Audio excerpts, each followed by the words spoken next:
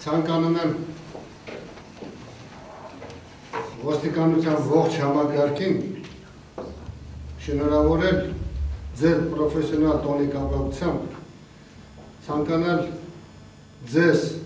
առողջություն մշտական պայքար հանցագործության դեմ եւ մշտապես հաղթանակ որովհետեւ ձեզանից շատ բան է կախված հանրապետությունում ներքին իրավիճակը կայուն պահելու գտնվելով թշնամի պետությունների արանքում մշտապես պատրաստ պետք լինենք ամեն կարգի ոտնձգությունների։ Եվ ես համոզված եմ, որ դուք ի վիճակի եք եւ կարող եք ձեր պարտականությունները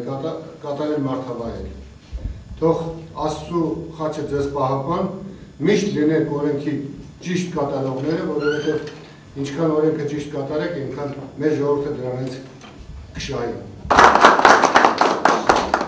Շնորհավորում եմ ոստիկանության տոնի կապակցությամբ, ժողովրդյան բոլորի շնորհավորում եմ, սա մեր ազգի տոնն է, մեր տոնն է։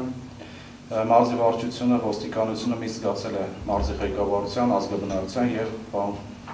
Սարամանյան հենց ձեր հա մեծ աջակցությունը եւ հենց ձեր մարզի ղեկավարության եւ մարզի ազգաբնակության աջակցության շնորհիվ ոստիկանությունը այսօր կարծում եմ կատարում իր արժեվ դրված խնդիրը